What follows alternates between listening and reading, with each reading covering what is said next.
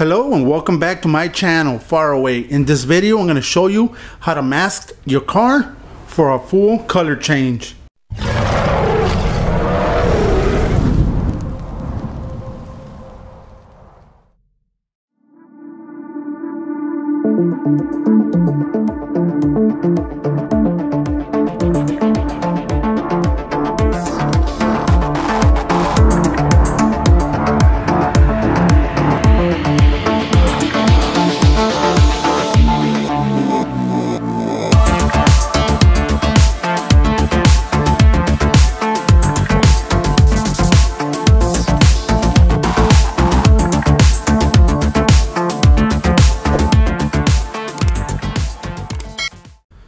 All right, let's just get started. This car has been sanded. If you didn't see how I sanded the car, go back to my previous video. I showed it on the hood of this car.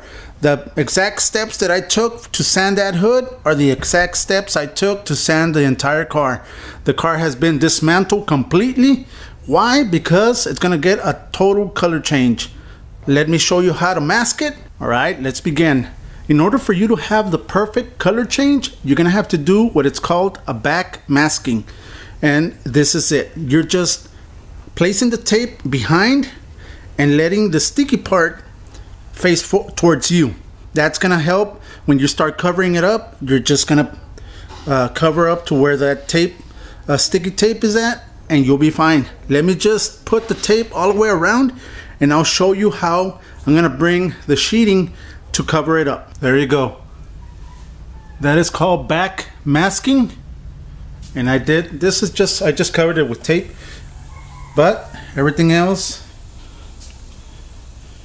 is covered. Now, there's two ways you can you do it. You can either start covering it with paper or you can use a plastic sheeting right there. Which, that's what I'm gonna be using. It's a lot easier. Now, there's a lot of uh, painters out there that they'll cover the entire car and then just uh, cut around where the the tape is at which is fine perfect it works. The only thing is that all this area that you're gonna you're just gonna you're just gonna waste.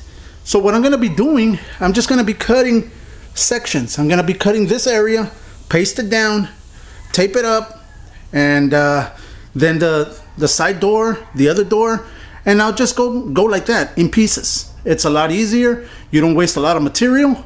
So let's do it that way. All right, there you go. I placed the sheeting on top. Now all I'm gonna do, just press it.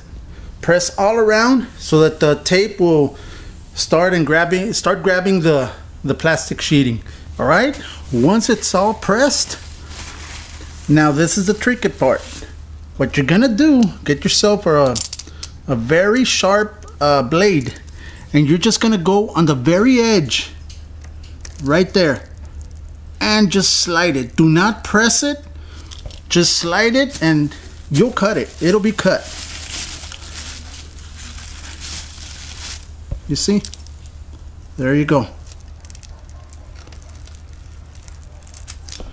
That's all you need to do and go all the way around. Go all the way around and uh, cut it up. Just be careful, go slow. Uh, if you cut through the tape, no problem, don't panic. Uh, you can still put another tape on top of this and it'll cover it up. All right, now that I have everything covered, the back, the doors, the gas cap, now let's go to the front windshield. What I like to do, I like to run a, a tape right on the edge of the windshield. I still need a little bit, a little piece there. And get the plastic sheeting and just run it all the way to the front. All the way to the front and uh, just tape it up. Let me show you. All right. Here's the reason I put some a tape on the very edge. Now all I gotta do take my razor, razor blade and cut on the bottom. Doesn't have to be perfect. Just cut on the bottom. And when you tape it up you're gonna have this uh, tape right here you can see right there you can you're gonna have there you're gonna put your tape right here and it's gonna it's gonna cover perfect all right there it is everything has been covered and It actually got dark on me, but that's no problem. This is going to be for tomorrow. I'm going to be painting this car tomorrow. Um, I do have a couple of uh, bare metal areas that are showing, which uh, you cannot leave like that. So what I'm going to be doing, I'm going to put some self-etching primer on those bare metal areas. They're real small, so you can use this. I've been using this uh, brand actually and this uh, method for many years. Never ever had an issue. So uh, I'm gonna be doing that. I'm gonna start spraying the areas that I see is to bare metal. And there it is. All the areas that uh, were bare metal, they've been covered. Now it's ready. It's the following day. We're ready to paint. First of all, before I start painting, let me talk to you a little bit about my filtration. I've been asked several questions about it. Now, the filtration that I have here it is guys I am gonna put all the links to where I bought all this in the description below but you don't have to actually purchase all this section right here all you need is this filter right here which is from uh, steel camel this filtration will do the job of all this I have this because I already had it so I just included this one and tell you the truth, I haven't even changed the desiccant on this filtration for a while. Why? Because this filter filter right here is doing the job of all this. So if you don't have any filters on your lines, you're gonna have trouble with what is called uh, fisheye and uh, oils and everything that's gonna be contaminating your paint. So if you don't have anything like this, just get yourself the steel camel and you'll have your one of the best filtrations that you can okay also I have some lines running up and down it's a 50 foot lines with three valves three drain drain valves okay so I do drain the water every single time that I uh, that I'm gonna paint I drain it and I don't keep the water uh, on the tank I drain the water on the tank every single time that I'm done. I drain it. I do not keep the air in the tank. That's one of the things.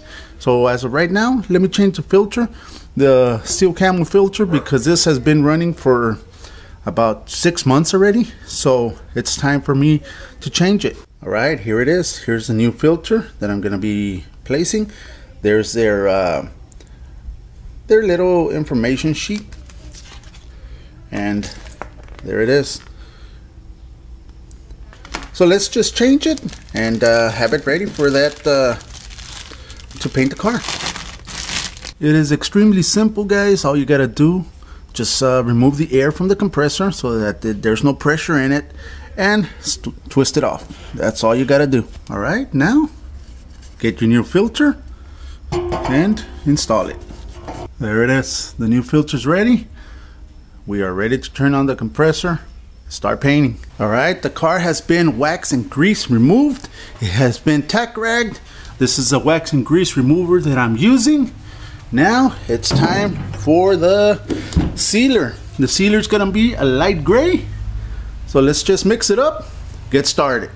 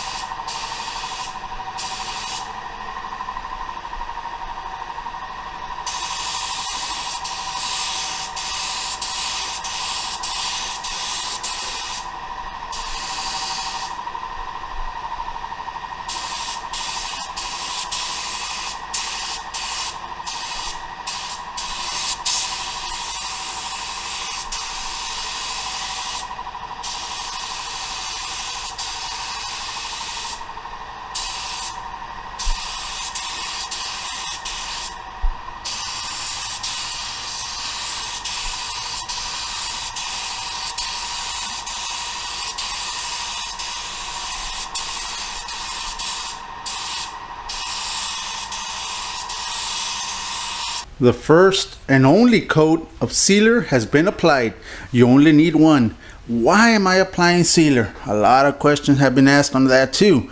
Sealer, I applied because I had different colors on this car. I had some parts white, I had some parts black, I had some uh, self-etching primer, I had several different uh, colors. And this will give me a uniform color in order for me to apply the, the base, the paint, so that everything will be exactly the same color, perfect. So uh, that's one of the reasons, and it is primer. It is primer. I've been asked if it is if it's primer. Yes, it is. It's primer, but it's a non-sandable primer. So you can start after 15 minutes. You can start shooting your base on top of this. So let's just uh, go see the paint that I'm going to be applying. First of all, guys, I want to thank Behaven Customs for sending me this uh, Idaho plate. Thank you very much. I'm getting closer to my complete set. Behaven, thank you. And here is the paint. That is a paint code. It's from BMW. It's called Urban Green. And the paint I'm going to be using is from Hi-Q. Gentlemen and ladies, if you haven't used this brand of paint, I highly, highly recommend it. This paint, when I painted my daughter's uh, Genesis, it covered in the first coat. So I just needed to apply two coats. But myself, I've been taught that it's always like three coats, so I just applied a third coat. But this brand of paint, it's it's one of a kind. Okay and they do deliver to your home. So there's no reason for you not to try it. I am trying it for you, and I'm telling you, get some, get some, get some, get some. Uh, it is mixed one to one. So with one gallon of paint, you can make two gallons. Just buy one gallon, you have two gallons right there. So let's mix it up, start spraying so you can see how quick it covers.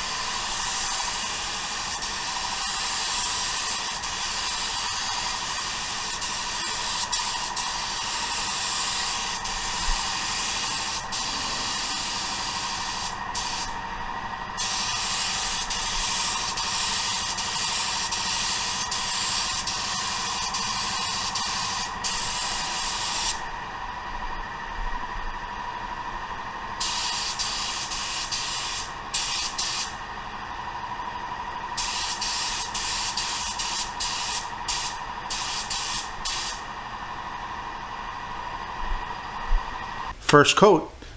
Now do you believe me? It covers in the first coat. Awesome.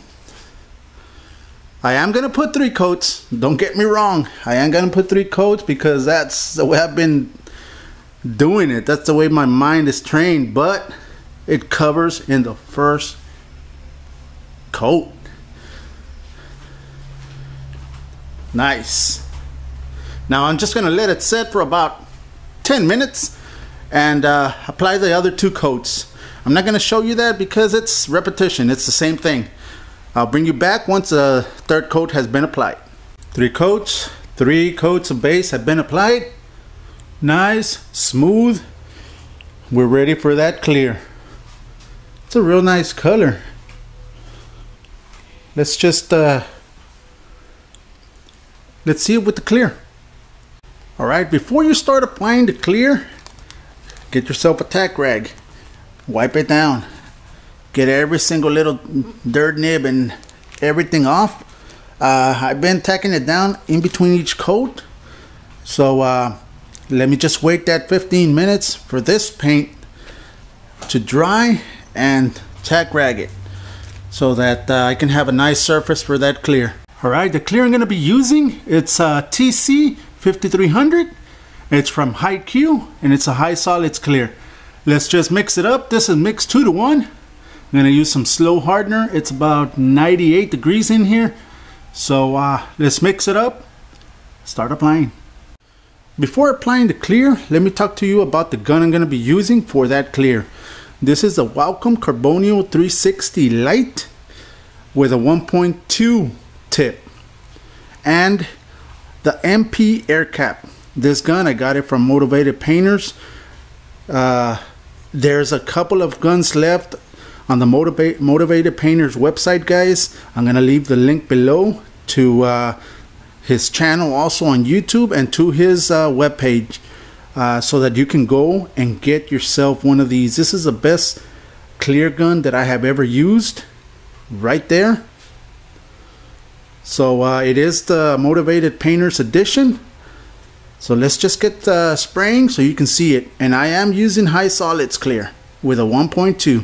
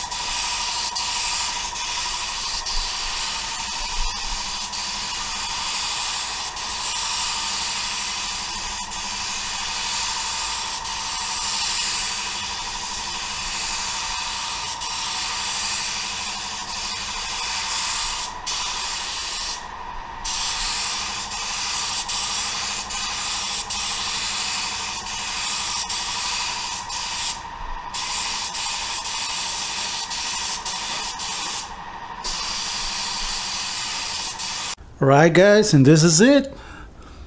Hope you guys liked it. This will be it for this video.